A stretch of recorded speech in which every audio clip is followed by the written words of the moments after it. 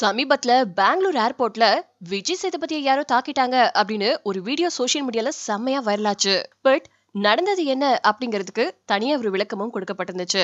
விஜய் சேதுபதி தாக்கப்படல அவருடைய உதவியாளர் தான் தாக்கப்பட்டிருந்தாரு அப்படின்னு இந்த வீடியோ சம்பந்தமா தனிப்பட்ட முறையில சில பேரு விளக்கங்களை கொடுத்திருந்தாங்க.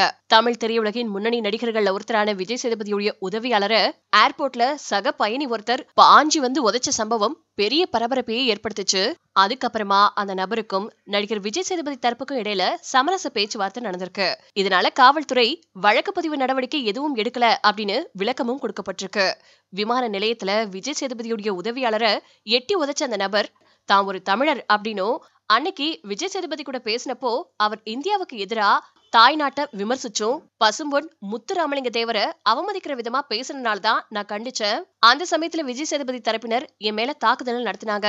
என்ன அடிச்சதுனால தான் அவங்கள பதிலுக்கு நான் எட்டி உதைக்கவும் செஞ்சேன் அப்படின்னு யூடியூப் சேனல்களுக்கு அவர் பேட்டி அளிச்சுட்டு வந்துட்டு இருக்காரு இந்த சுச்சுவேஷன்ல இந்த சம்பவம் பத்தி விஜய் சேதுபதி விளக்கமும் கொடுத்திருக்காரு.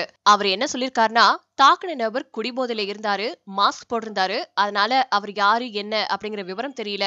யாரோ ஒரு நபர் இந்த விஷயத்த அப்படியே வீடியோவா எடுத்து அனுப்பினதுதான் இந்த விவகாரம் ஊதி பெருசாக்கப்பட்டுச்சு. தாக்குன நபரை போலீஸ் ஸ்டேஷனுக்கு கூட்டிட்டு போய் அப்பவே பிரச்சனை எல்லாத்தையும் நாங்க தீர்த்துட்டோம் அப்படின்னு விஜய் சேதுபதி தரப்புல இருந்து விளக்கம் கொடுக்கப்பட்டிருக்கு. இது போக நான் பாதுகாவலரோட பயணம் செய்யறதே கிடையாது. என்னுடைய நெருங்கிய நண்பர்களை மட்டும்தான் நான் கூட்டிட்டு போயிருந்தேன். பாதுகாவலர்களை வச்சுக்கிறதுக்கு எனக்கு விருப்பம் எதுவும் கிடையாது. எப்பவுமே மக்களோட நான் பயணிக்கணும் மக்களை நேர்ல மீட் பண்ணணும் அப்படிங்கறத மட்டும்தான் விரும்புறேன்னு சொல்லி விஜய் சேதுபதி இந்த ஒரு விவகாரத்துக்கு விளக்கம் கொடுத்து முற்றுப்புள்ளி வச்சிருக்காரு.